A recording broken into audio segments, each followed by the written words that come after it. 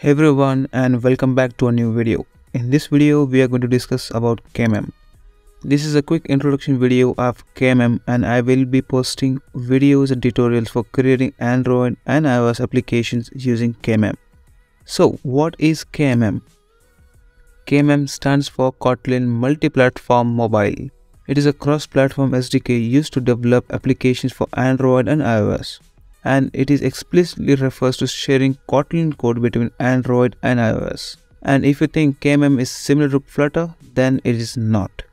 In Flutter, we only have a single code base Dart which will contain UI code, business logic, data logic and API calls and we have a working application that will run on multiple platforms. But in KMM, it is a little different.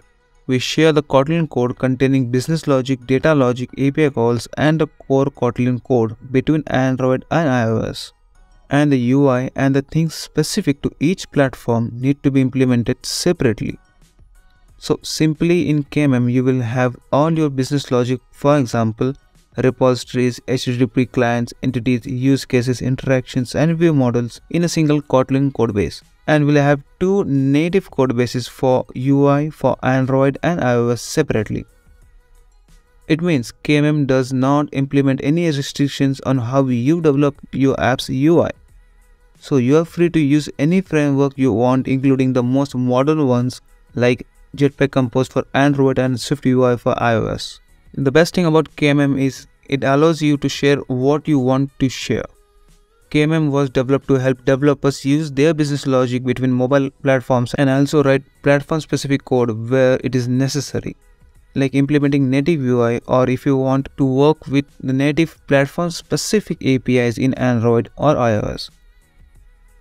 So it provides you the access to use the power of each platform to its fullest potential.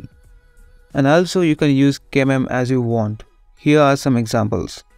You may decide to share only the data logic using libraries such as Ktor or SQLite, keeping the business logic and presentation layer in your native code. You may also have business logic and data logic in KMM and the presentation layer in your native code. And if your app is similar on Android and iOS, then you can have your business logic, data logic, presentation layers in KMM allowing you to share view models, view controllers, use cases, navigation logic and much more and just have the UI code in the native platform. And at last, there are two considerable limitations of KMM that you should know. First one is you will need a Mac to develop the iOS app because you will require Xcode to create a native iOS app. And if you wonder what Xcode is, then it is an IDE similar to Android Studio but for iOS and also you will need a Mac to run the iOS emulator to test your applications. If you only want to create Android applications using KMM then you can do that with Windows and Android Studio and of course you can later develop the iOS version of it with Xcode. And the second limitation is all the libraries you use in the shared section should be entirely written in Kotlin which means you cannot use retrofit for handling REST API calls because it was written in Java. So instead you have to use Ktor which is purely written in Kotlin. And don't worry if you don't have a Mac, just start KMM with Windows and work on your development skills. Create projects and always try to learn something new. Now I hope you have a clear understanding of what KMM is, how KMM works and how to use KMM to build your own cross-platform apps. That's all for today's video. I appreciate your time and attention. If you found this video helpful, then please show your support by liking it and subscribing to my channel for future videos.